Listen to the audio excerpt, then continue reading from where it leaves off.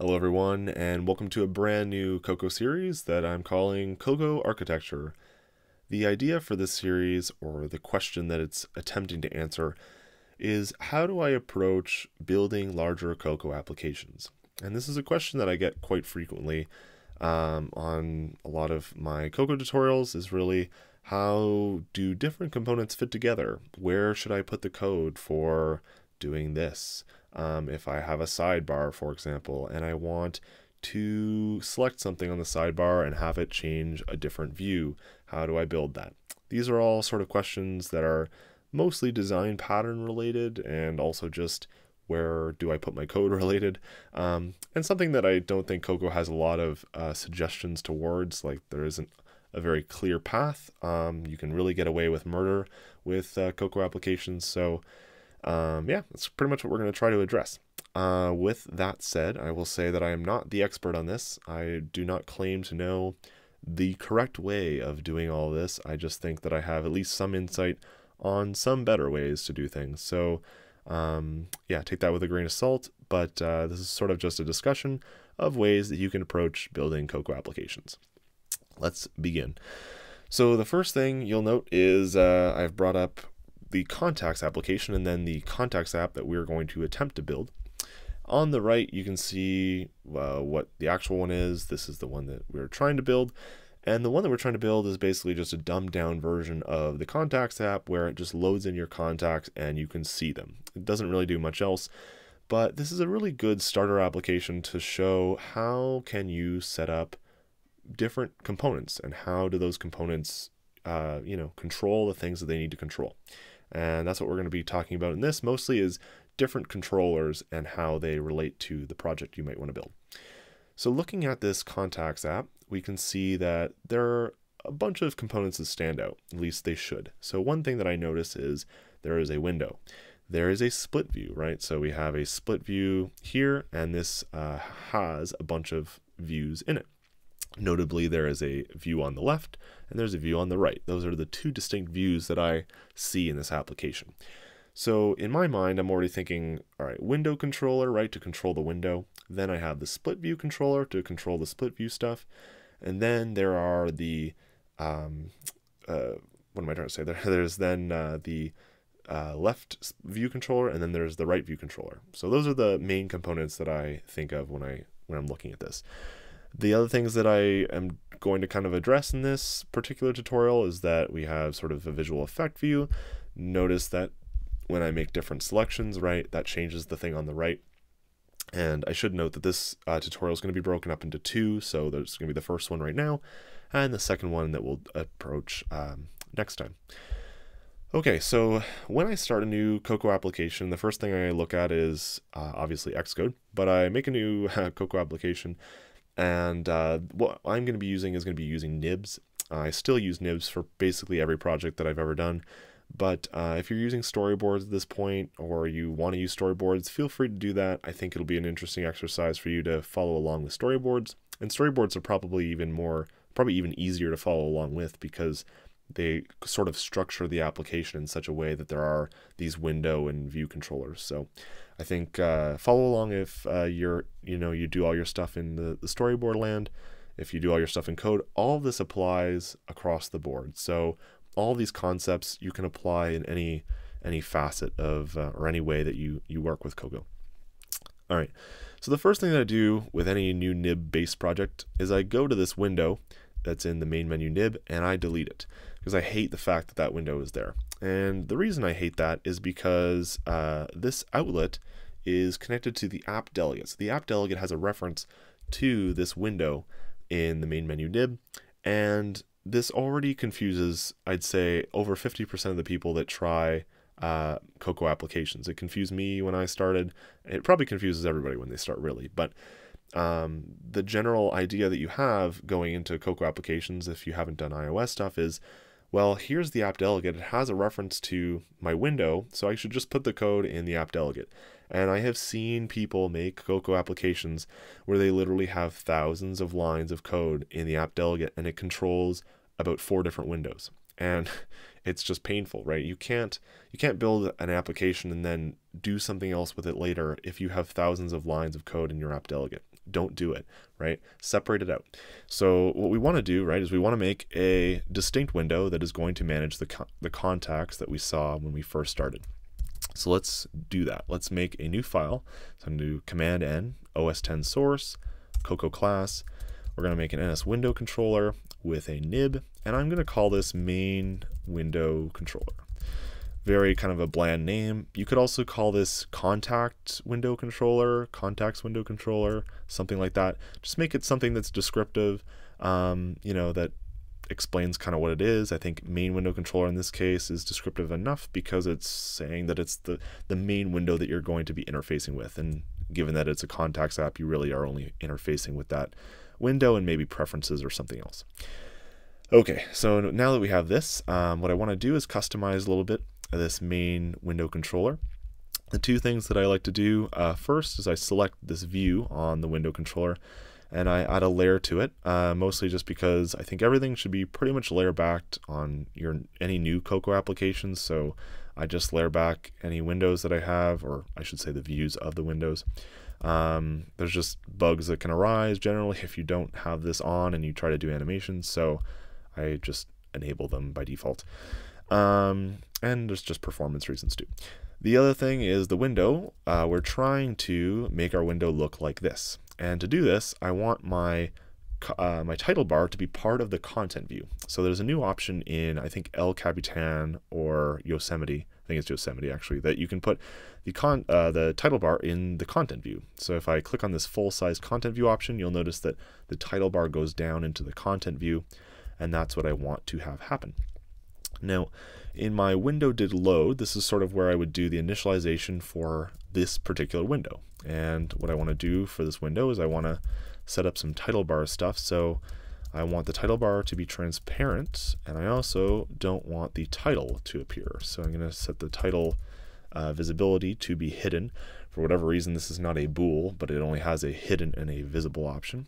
Uh, don't ask me why the um, maybe it's legacy stuff i'm not sure. But anyway um, going out of this the next thing that i want to do is go back into the app delegate. And the app delegate is still the place where i launch code. So delete this comment here because I actually just copied incorrectly. But uh, we want to make a new uh, main window controller and to do this i'm going to say main window controller open close parentheses. Now, if I just called this, it actually is not going to load the nib. It's going to load just the controller itself, and I don't want this to happen. So what I'm going to do is I'm going to make a convenience initializer. And I did this all the time in Objective-C. However, in Swift, this is somewhat iffy because initializers are weird. But um, we can say self window nib name and the name of the window. I'm just going to copy the class name and now we have uh, the, the correct window name that matches the nib. So the point of this is that when I call just main window controller with empty parentheses, it should load the nib along with uh, the window controller. All right, so now all I have to do is in application to finish launching, I just want to say show window. And I can just say show window nil, and that should be good. So let's go ahead and run this to make sure we've got we've done everything correctly up to this point. And as you can see, we have a new window that appears, right? And we can move it around. We've got the ability to adjust it and all that good stuff. All right, so we have a working window. Great. The next step is to figure out how to get these sort of two views, right? So we have basically a view controller on the left and a view controller on the right. That is essentially what I want to try and create right now. So I'm going to go ahead. Again, I just hit Command N to make a new file. OS X source, Cocoa class. We're going to do an NSView controller. I'm going to make a nib along with this. And the class is going to be what I'm going to call contacts uh, list view controller. All right. And this is a view controller that manages a contacts list or a list of contacts, however you want to look at that. All right, so we have our contacts list view controller, and I'm going to go over to the nib here so that I can do some adjustments. So what I want to do is just kind of make it the, the shape that I expect it to look like sort of when it, you know, loads in. Um, on this view, I'm going to set the the actual uh, view to, well, actually, I'll do this later and I'll, I'll come back to why I did that. But let's just leave the, the layer off for now. Let's just customize everything that I want to put in this view. So again, this is the left uh, contacts list view, so I need a table view. So I'm going to add in a table view here. Resize this. And now I also want a visual effects view. And we'll just plop that in. Make sure you don't drop it in the table view, but make sure you're dropping it in, um, you know, the right spot here. Uh, one thing I'm going to make sure is that my height is going to be 50 on this. And we'll just stretch this out so that it fits along the top. There we go. Um, the next thing is I want to change the visual effect view so that it's not behind the window, but it's within the window. So it's actually going to show the contents of the table view. That's what I'm trying to go for uh, to remind you of what that looks like. If I highlight this, right, you can see sort of the blue outline that goes behind that visual effect view. Just something that I thought was, uh, I, meant to make a tutorial on this, so I figured I'd talk about it in this. Okay, so we've matched it with the window. Um, I want the appearance to be vibrant light. I don't want it to be vibrant dark. So those are the two things you have to change within window and vibrant light. Now I want to set up all my layout constraints here as well. Actually, before I do that, let's customize our, our table view a little bit more. The border on our scroll view, I don't actually want there to be one, so I'm going to select the, the no border option there. Then I want to select the table view and the table view, I only want to have one column.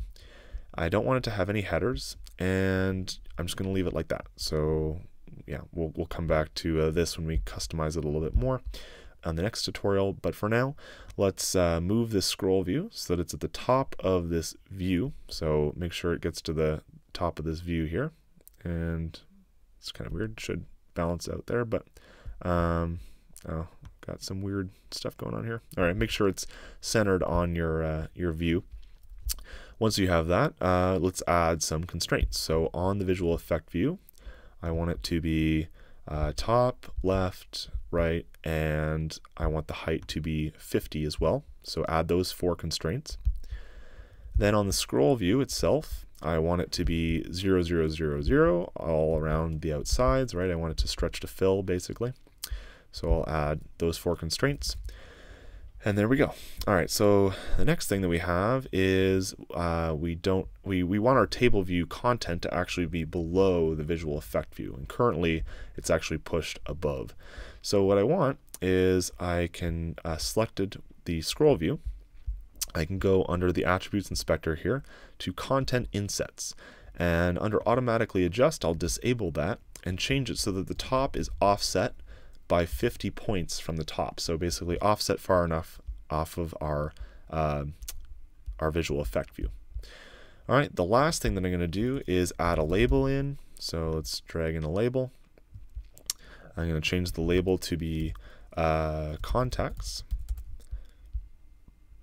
I'll make the font a little bit larger. Let's just say 18 for this. Um, if I want the label to be uh, the size that it actually fits, I just hit command equals and that will automatically fill the label to be the right size. And now I can go down to the align option at the bottom and horizontally and vertically align that label.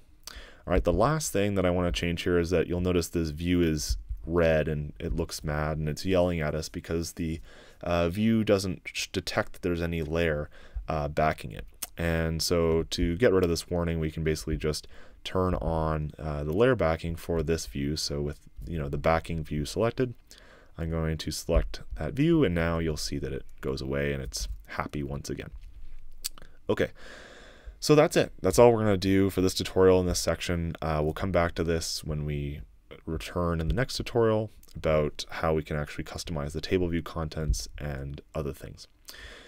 All right, the last thing that we need to do is actually put all these view controllers together, right? We have the view controller for the contacts list view controller, and we also want the contact uh, view controller that's from uh, the contacts framework. So I'm going to import the contacts UI framework, which includes the uh, contact view controller.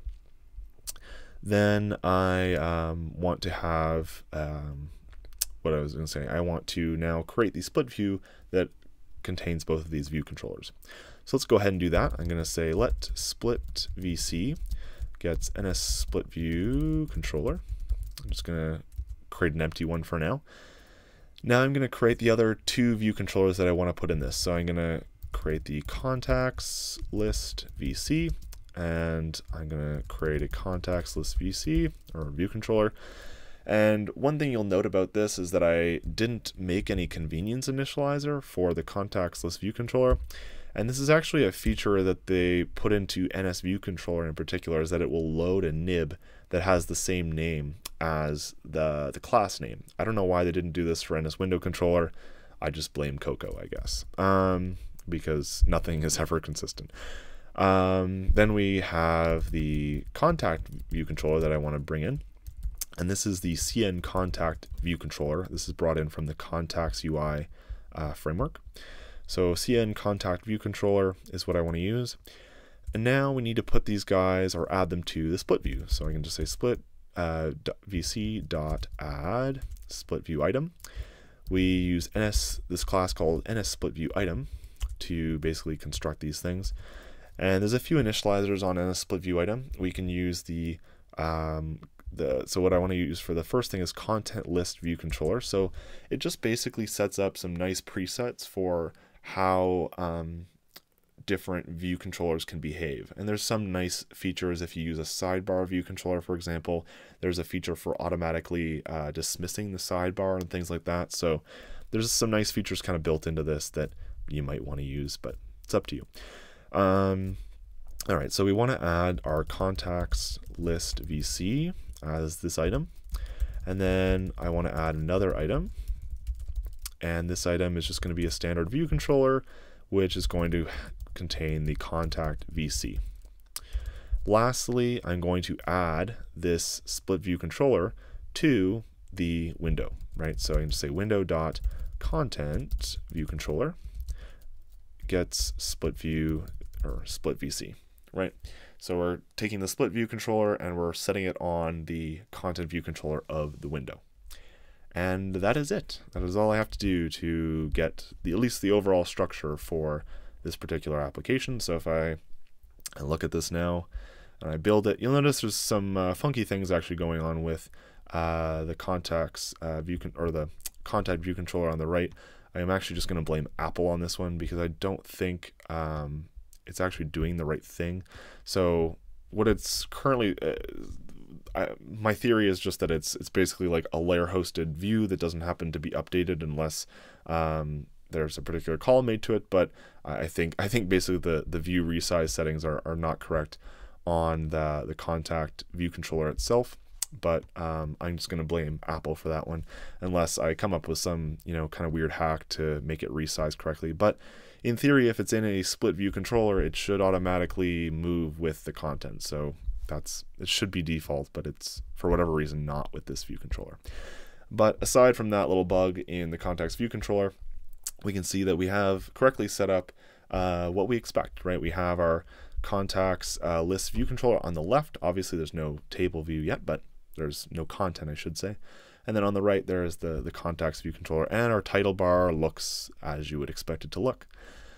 Okay, so that is just the general overview of how I would approach a simple uh, contacts application anyway, just getting you familiar with using different things, right? Use window controllers, use view controllers, and just put the logic for those things uh, where they need to be. In the next one, we'll talk a little bit more about uh, the rest of this contacts application, and then we'll conclude uh, from there. All right, I'll see you guys in the next tutorial.